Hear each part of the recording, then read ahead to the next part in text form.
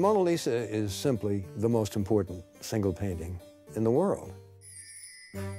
You have more than 8 million visitors per year in the Louvre, and more than half of them are there only to see the Mona Lisa. Pour la Joconde, donc que vous appelez Mona Lisa, euh, c'est un tableau qui, est, qui, qui possède une telle présence Questo sorriso è una, una caratteristica che lo rende così, così affascinante. There are a lot of uh, suspicions about the, um, the authenticity of the other paintings by uh, Leonardo here in the Louvre. Or the Mona Lisa was always considered an original by uh, the artist.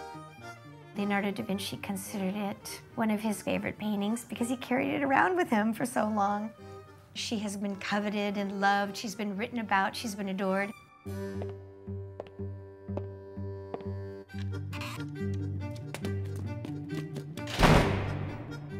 She had been taken, she'd been kidnapped.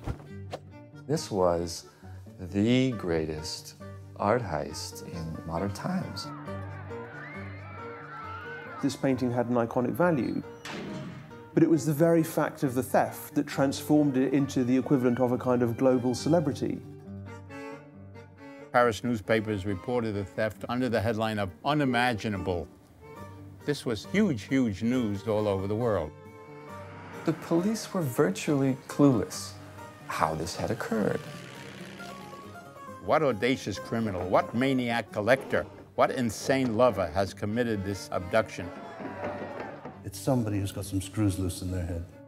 This masterpiece had been taken by an obscure individual.